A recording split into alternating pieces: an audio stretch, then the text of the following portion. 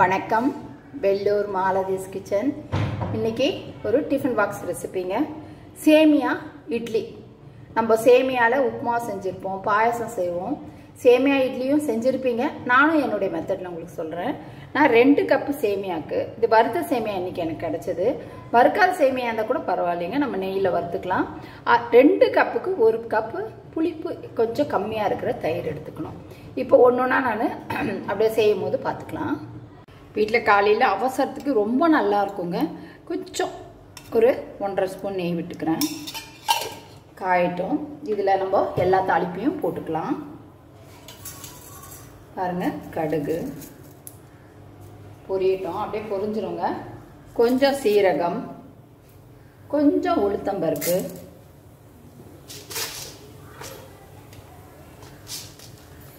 கொஞ்சம் கடலப்பருப்பு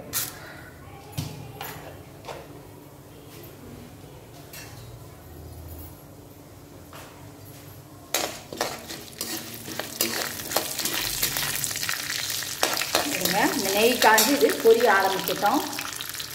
இப்போது பொரிய ஆரம்பிச்சிருக்கு. சேவரம் வந்திருக்கு. இப்போது இதுலேயே நான் என்ன கொடுக்குறேன் பச்சை மிளகா இஞ்சி எல்லாம் போட்டுக்கலாம்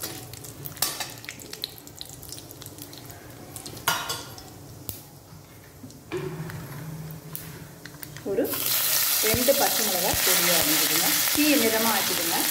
கொஞ்சம் இஞ்சி ஸ்க்ரப் பண்ணது. கொஞ்சம் கொத்தமல்லி கருவேப்பிலை ரொம்ப ஈஸி ஆனால் நல்லா இருக்குங்க. இதுக்கப்புறமா முந்திரி பருப்பு. ஒரு அஞ்சாறு முந்திரி பருப்பு உடச்சி எடுத்து வச்சுருக்கேன். அதுவும் அப்படியே எண்ணெயில் கொஞ்சம் செவரட்டும். முந்திரி பருப்பு எல்லாம் செவந்துருச்சுங்க. ஒரு கால் ஸ்பூன் பெருங்காயம். ஸ்பூன் நான் ரெண்டு கப்பு சேமியா எடுத்தேன் இல்லைங்களா? அதை இதில் போட்டலாம். வீட்டில் காலையில் அவசரத்துக்கு டிஃபன் இல்லைன்னா இதை செய்யுங்க. நல்லாயிருக்கும் ஒரு சட்னி அரைச்சிட்டு இது செஞ்சு சூப்பராக இருக்கும். இதை நல்ல நெய்யில் வறுத்துக்கோங்க. இது வறுத்த சேமியா இருக்கிறதுனால நான் லேசாக வறுத்துக்கிறேன். வறுக்காத சேமியா இருந்தால் நெய்யில் நல்லாவே செவக்க வறுத்துக்கலாம்.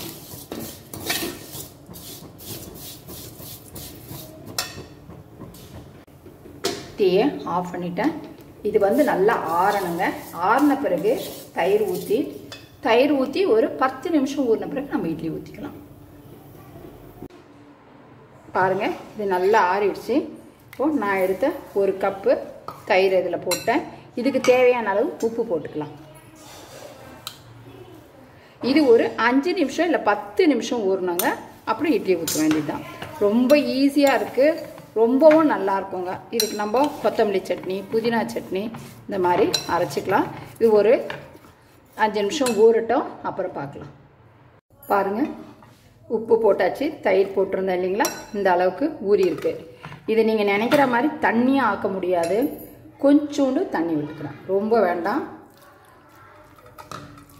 இதை அப்படியே நம்ம அள்ளி அள்ளி வைக்க வேண்டியதுதான். இந்த இட்லி வெந்த பிறகு பாருங்கள் ரொம்ப நல்லாயிருக்கும். சிட்டிக்க ஆப்பா சோடா மாவு போட போகிறேன்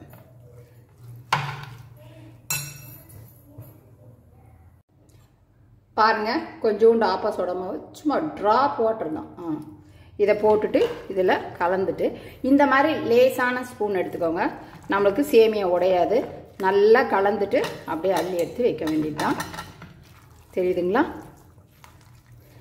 இருங்க ரெண்டு இட்லி தட்டில் ஊற்றிடலாம் நல்லா கலந்துட்டேன்.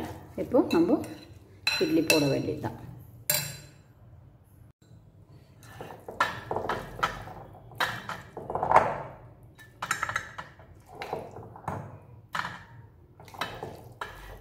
இது வெந்து வந்த பிறகு பாருங்கள் ரொம்ப நல்லாயிருக்கும் பார்க்கறதுக்கு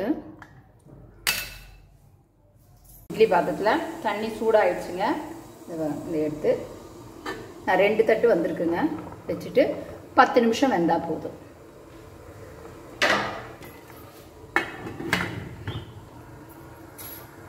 பாருங்க. இவ்வளோ சூப்பராக இருக்குது எதுக்கு இந்த மாதிரி நான் சொல்கிறேன்னா எண்ணெய் போட்டு நிறைய நம்ம வர வர வெயிட் கான்ஷியஸாக இருக்கிறவங்க இந்த மாதிரி சேமியா அதெல்லாம் இட்லி செஞ்சுட்டு இதுக்கு தொட்டுக்க சாம்பார் சட்னி எது செஞ்சாலும் பிரமாதமாக இருக்குங்க. நீங்களும் செஞ்சு சாப்பிட்டு இருங்க சூடாக இருக்குது பாருங்கள் இப்போ இட்லி எடுக்கிறேன் பாருங்க ஒன்று தெரியுதுங்களா? நல்லா இருக்குங்க. அருமையாக இருக்கும். சுவையான சேமியா இட்லி. ஒன்றுமே உடையாது. பாருங்க. எவ்வளோ நல்லாயிருக்கு சண்டு சண்டாக வருங்க. தெரியுதுங்களா? அதனால் இந்த மாதிரி செஞ்சும் நம்ம சாப்பிட்லாம். எதுக்காக நான் சொல்கிறேன்னா சேமியாலாம் நம்ம உப்புமா செஞ்சோம்னா நிறைய எண்ணெய் குடிக்குது இல்லைங்களா? இந்த மாதிரி செஞ்சால் ரொம்ப பிரமாதமாக இருக்குங்க. பாருங்க சுட சுட சுட சேமியா இட்லி நல்லா எல்லாருமே சாப்பிட்லாம். ரொம்ப ருசியாக இருக்கும். இதுக்கு நான் இன்னைக்கு புதினா சட்னி அரைச்சி வச்சுருக்கேங்க.